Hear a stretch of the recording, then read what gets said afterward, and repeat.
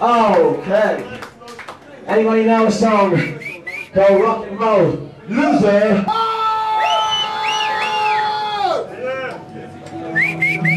Well, we don't.